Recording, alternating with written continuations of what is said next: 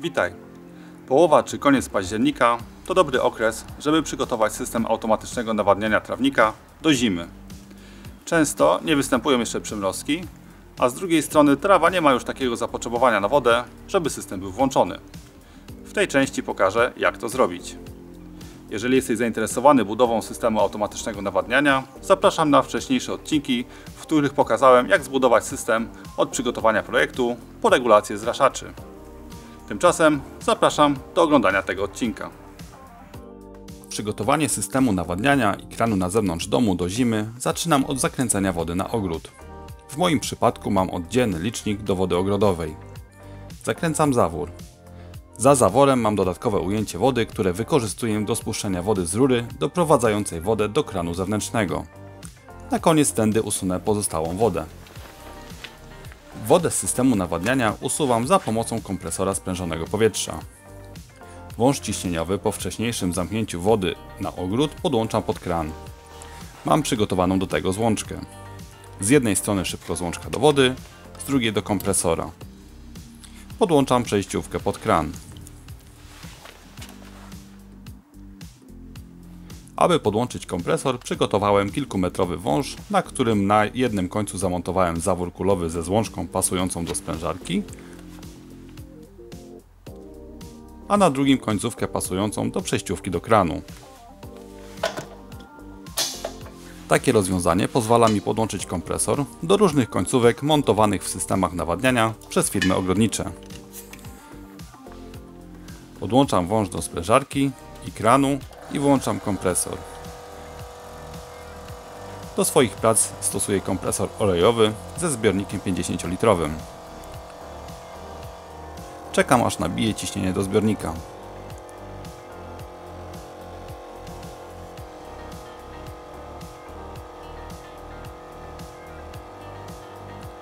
Mogę teraz włączyć jedną z opróżnianych sekcji.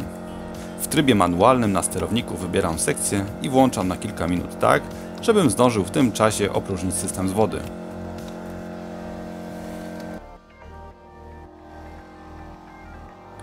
Jak widać nawadnianie nie uruchomiło się. Woda na ogród jest już zakręcona.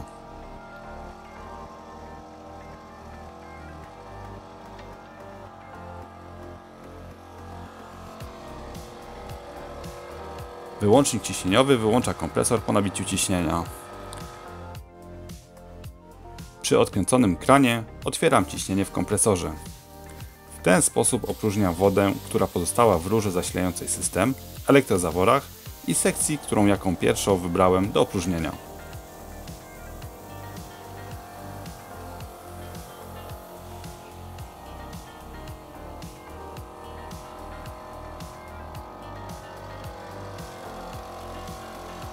Zakręcam zawór, żeby sprężarka uzupełniła powietrze w zbiorniku.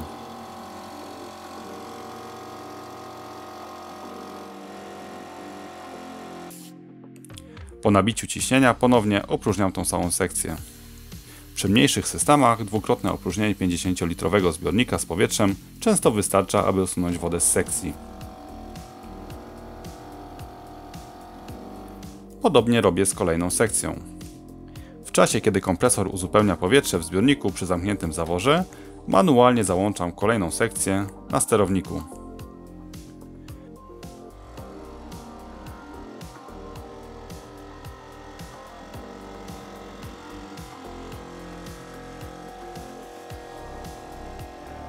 Przy pełnym zbiorniku otwieram zawór i opróżniam z wody kolejną sekcję.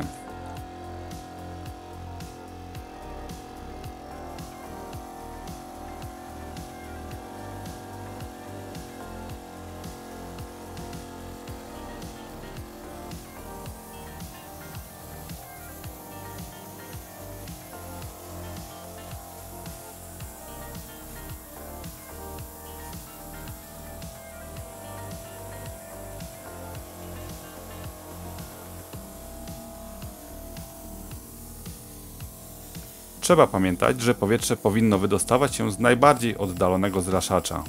Mamy wtedy pewność, że w systemie nie została woda.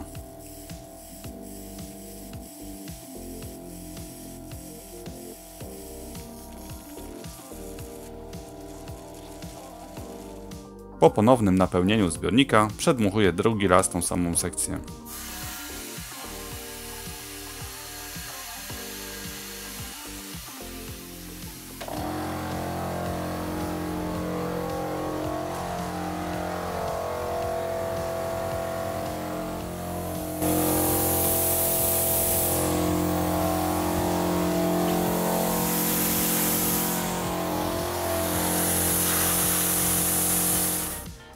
Czas na linię kroplującą, która u mnie podłączona jest pod czwartą sekcję.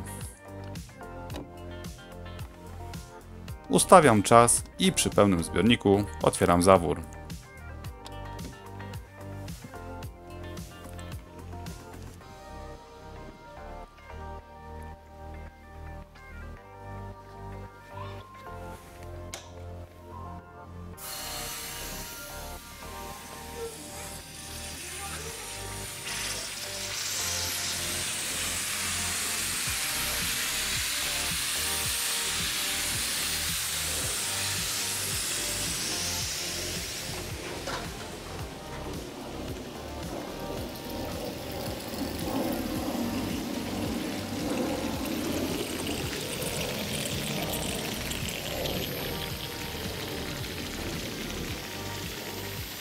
Tak przygotowany i opróżniony z wody system bezpiecznie przezimuje do kolejnego roku.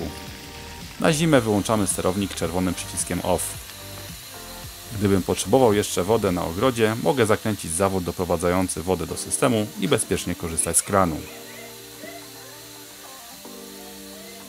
Zawsze opróżniam też rurę doprowadzającą wodę na ogród, spuszczając wodę zaworem w domu, widocznym na początku filmu.